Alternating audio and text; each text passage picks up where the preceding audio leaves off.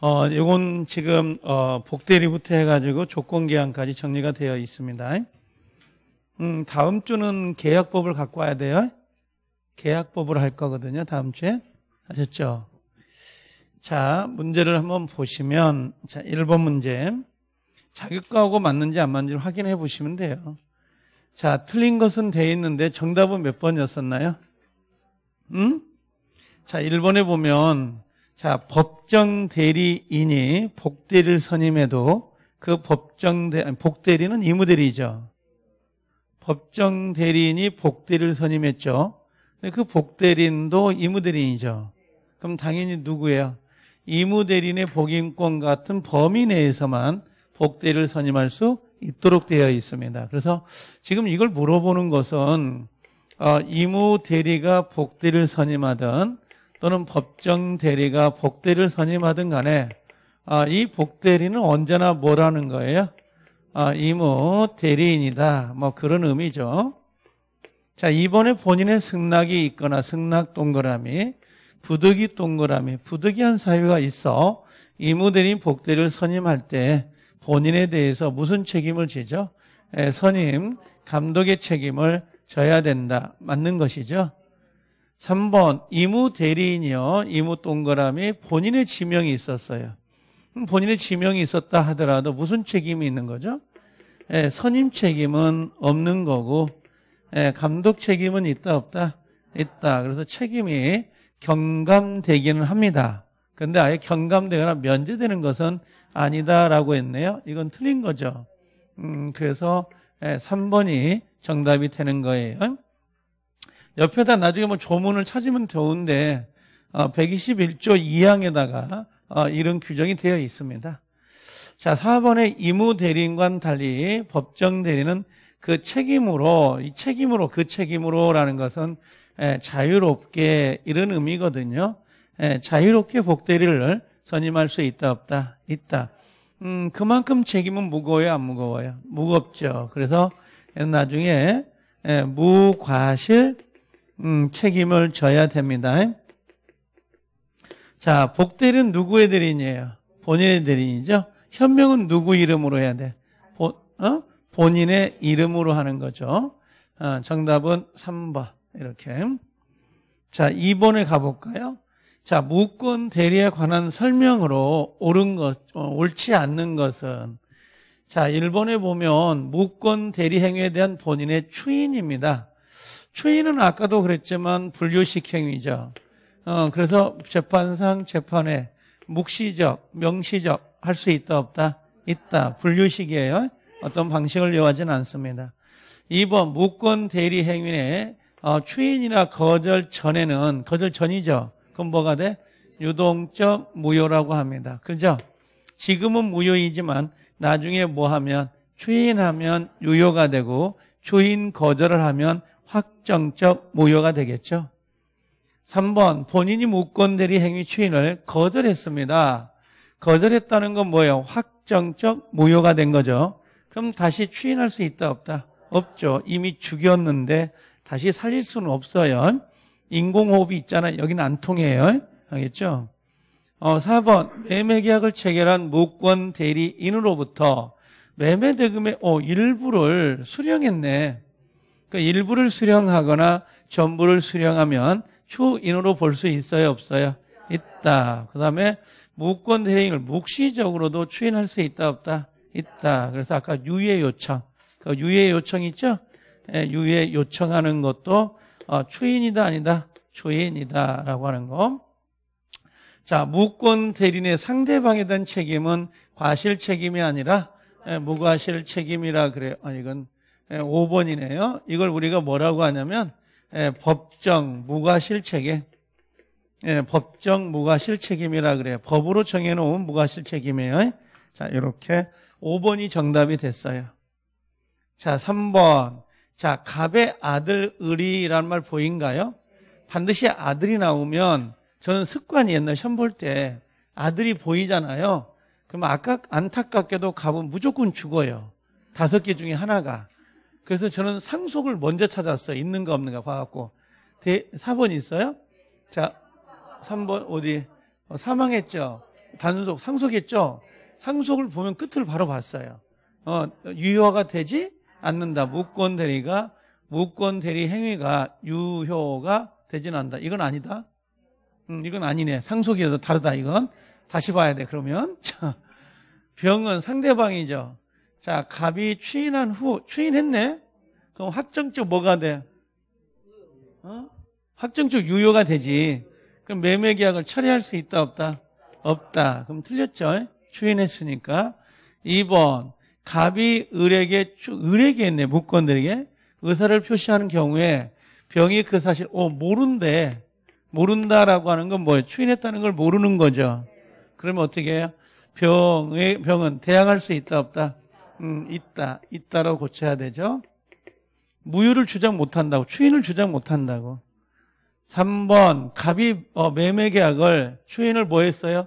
거절했네. 거절했다는 건 뭐가 돼요? 예, 확정적, 음, 무효가 된 거죠. 어, 확정적 무효가 된 다음에 돌아가셨어요. 사망이 됐죠. 그럼 을이 갑을 단독 상속했다 하더라도 이미 본인이 무효화 시켜놓고 간 거잖아요. 그럼 당연히 뭐야? 유효가 되지는 않아요. 그래서 세 번째가 옳은 정답이 되고요. 단, 뭐, 옆에 쓴다면 단. 누가요? 을은. 무권 대리니까 책임을 져야 돼, 안 져야 돼? 어, 책임을, 음, 져야 되겠죠. 왜냐면 본인이 추인하지 않았으니까 무권 대리인 누구는요? 을은 책임을 져야 된다고. 그래서 상대방의 선택에 따라서 계약을 이행하거나 손해배상을 청구할 수 있다. 이렇게요.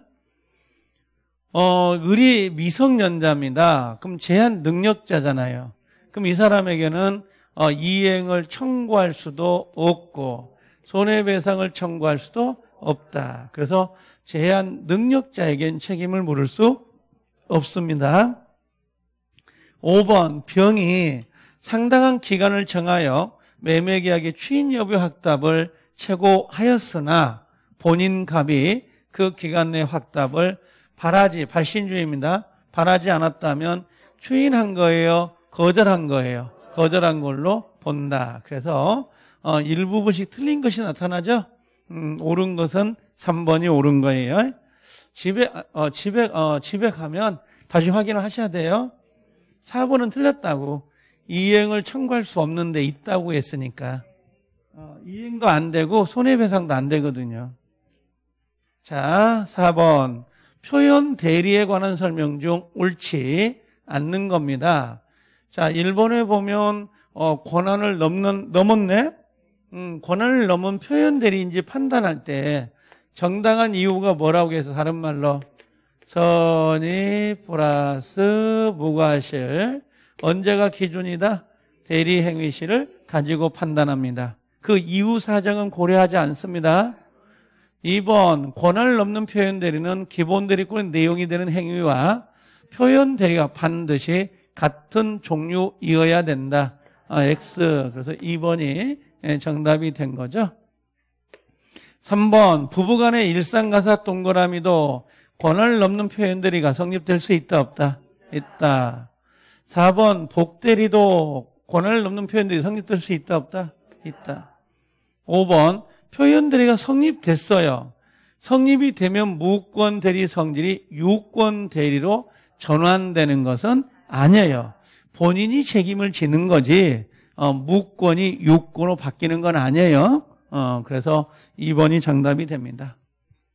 자, 5번 옳지 않는 거 표현들이 몇 번이 정답이었어요? 4번.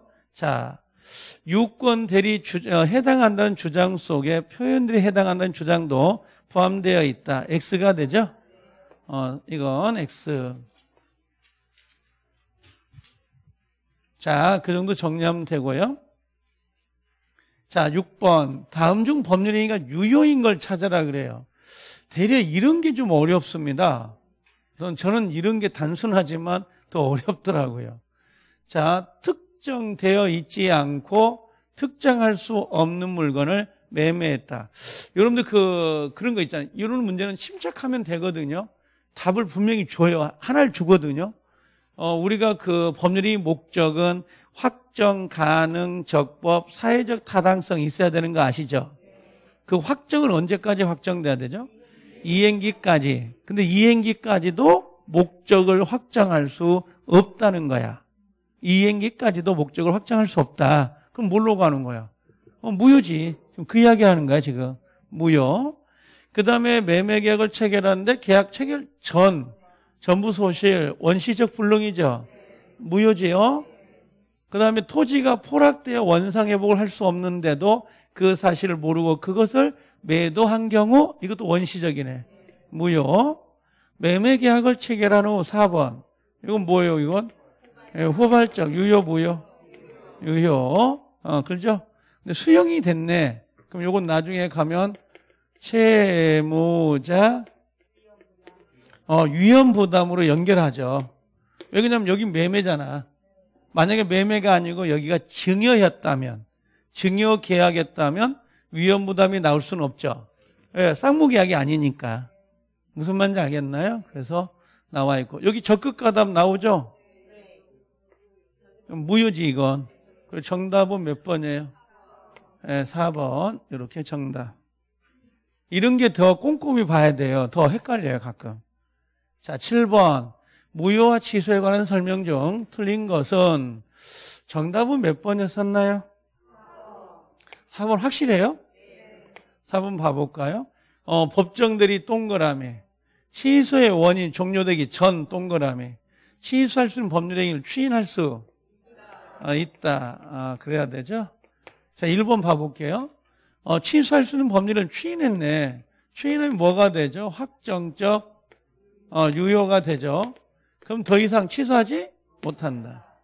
2번 법률의 일부분이 무효네요. 원칙은 뭘로 가? 전부 무효. 동그라미 치는 거 잘 봐야 돼요. 제가 문제를 푸는 방법을 여러분들이 잘 알아야 그렇게 풀어야 시간을 아낄 수가 있거든요. 자, 비진이요. 비진이가 무효가 됐어. 그럼 비진이 무효는 뭐야? 상할수지. 상할수 무효죠. 그럼 무효임을 알고 추인했죠. 보여요? 그럼 새로운 법률행위가 될 수 있다 없다. 항상 여기 조심할 처음부터 새로운 요거 조심해야 돼요. 어, 새로운 법률행위. 자, 요게 5번이 뭐냐면 요게 어, 어 139조 아니 8조. 어, 무효 행위 어, 전환의 조문이에요. 조문을 긁어다가 그대로 낸 거예요. 자, 무효인 법률행위가 다 다른 요건을 구비했다 보여요? 그 다음에 당사자가 뭐야? 다른 걸 의혹하지. 구비했죠. 요건을 구비했죠. 의혹했죠. 그럼 다른 법률로 전환될 수 있다 없다? 있다. 세 개. 요건 구비했죠. 의혹했죠. 예, 전환될 수 있다 없다? 있다. 그래서 5번은 정답 아니, 옳은 거죠. 8번 무효와 취소에 관한 설명 중 틀린 거 이 정도 정답은 어디예요? 어? 2번. 자, 2번 무효인 법률행위를 당사자 무효임을 알고 추인하면 자, 어디 가요? 법률행위가 성립될 당시부터 유효가 된다. OX? 네, 그때부터 뭘로 가야 돼? 네, 새로 오는 거야. 성립한 때부터 X가 되죠. 자, 일부 무효. 그러면 뭐예요? 원칙, 전부 무효. 자, 3번. 취소된. 취소가 됐네. 그렇죠? 그럼 뭐야? 처음부터 무효. 예, 소급 무효. 4번. 취소권자가 취소할 수 있는 법률행위를 적법하게 추인해버렸어. 추인했죠? 그럼 다시 취소할 수 있다, 없다? 없다.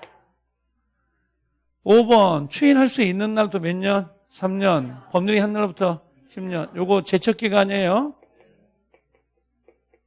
도가 여부는 누가 조사한다? 법원이 직권입니다. 직권조사. 이건 기억해 주세요.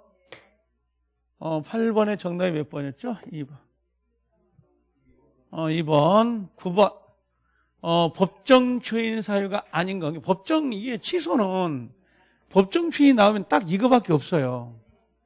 그건 그냥 취소권자, 취소권자, 취소권자, 취소권자. 다 취소권자네? 아, 미안해, 미안. 여기 주어를 잘못 쳤구나. 어, 여기 보니까 취소권자의 상대방. 여기가 주어지. 정답은 몇 번이에요?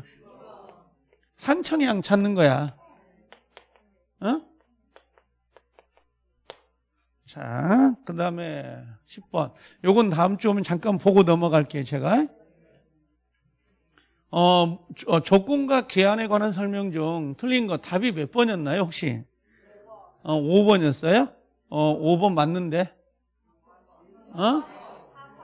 4번? 자, 1번부터 볼게요. 정지 조건이 성취가 되면 정지 조건이죠? 효과가 발생이 되는 거야. 그러면 어디 법률행위 효력을 발생한다. 정지, 발생. 해제는 해제는 소멸. 2번 정지 조건이 법률 이미 성취할 수 없다. 이걸 기성 조건이거든요. 이게 그럼 나중에 가면 저 기성 조건이 정지 조건이면 조건 없는 법률 행위.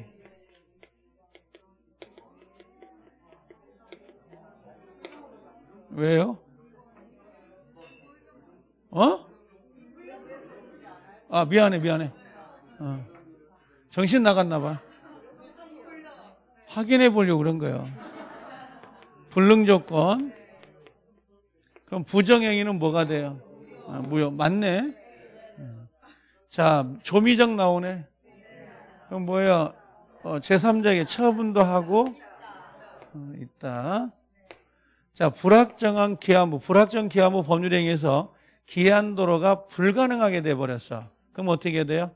어, 기한이 도래한 걸로 봐야 됩니다. 이건요, 불확정 기한이 이렇게 설명해 줄게 나중에. 자, 어, 어 답이 뭐야? 아닌데? 답이 어디 갔냐? 아, 미안해. 고, 고쳐버렸네? 답이 없네? 아, 잠깐만. 아, 여기 있다, 여기다.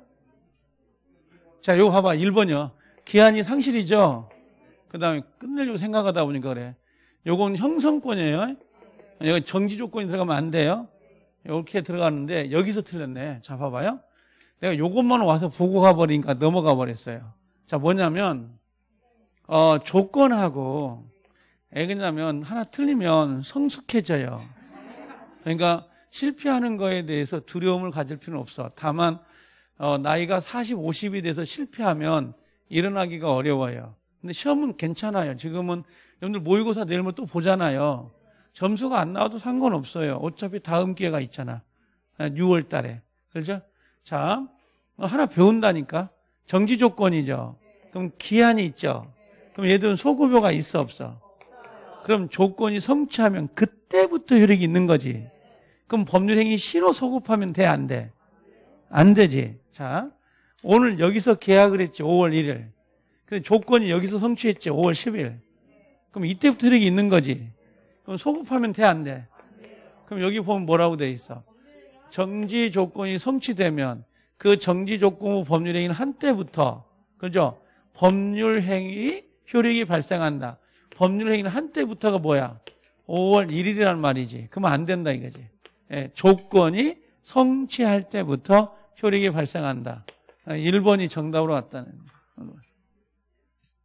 자, 나중에 가서 이야기를 해줄게요. 이 부분은 다시. 알겠죠?